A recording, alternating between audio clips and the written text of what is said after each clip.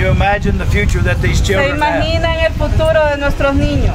We love to hear their dreams. Amamos escuchar sus sueños. We love to see them study. Amamos verlos estudiar. Cuando un niño se apadrina, When a child is sponsored, es porque Dios lo ha, lo, lo ha permitido. it's because God has allowed that. La- en este año escolar tenemos más bien más matrículas y creo que esto se debe verdad a que siempre recibimos la ayuda por parte del ministerio, ¿verdad? So this year, there's more kids signed up and registered at this school, and she knows that it's because of the support that comes from Faces of Dreams in this ministry. Los motivan y nos dan mucha alegría para seguir adelante y muchas gracias hermano Mike.